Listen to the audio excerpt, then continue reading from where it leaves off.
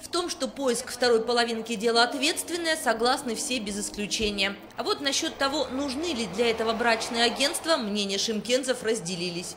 Есть люди закомплексованные, которым трудно общаться с другими людьми, может быть, для них и надо это. А для большинства, наверное, люди, которые ну, как бы не чувствуют каких-то затруднений в общении, то я думаю, для них вряд ли это понадобится. Нет, они не нужны, я считаю, абсолютно.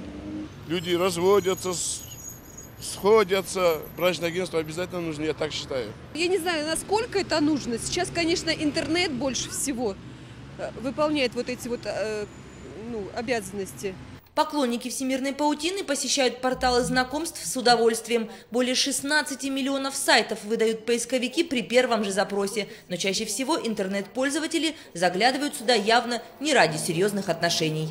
Хотя на сайтах знакомств на сегодняшний день зарегистрированы сотни тысяч анкет, желающие создать семью все равно обращаются в брачное агентство. И, как выясняется, в основном это молодые мужчины в возрасте до 30 лет.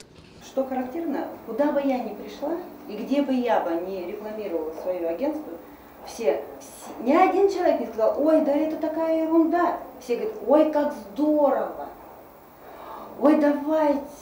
Все берут визитки, все берут номера телефонов, мы к вам придем. Для Идея открыть в Шимкенте брачное агентство у Светланы Пантелеевой появилась недавно. 30 лет женщина проработала в связи. Оставшись без работы, решила не сидеть дома, а связывать человеческие судьбы. Тем более, что опыт свахи у нее уже есть. На ее счету 4 созданные семьи. Я больше всего боялась, что будет мало мужчин.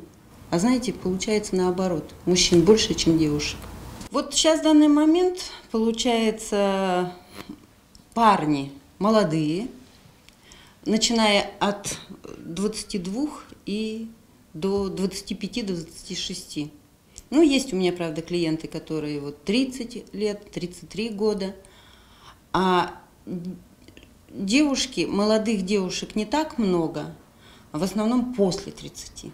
База данных пополняется новыми анкетами практически ежедневно, говорят хозяйки агентства. В нашу эпоху всеобщей занятости брачные агентства как маяки помогают одиноким людям найти свою половинку, уверена Оксана Гер. И сайты знакомств в этом деле не соперники.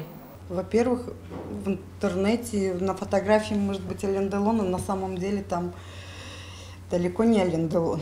И девушка может быть стройной 90-60-90, а на самом деле там огромная, большая. А тут все вживую, по-настоящему.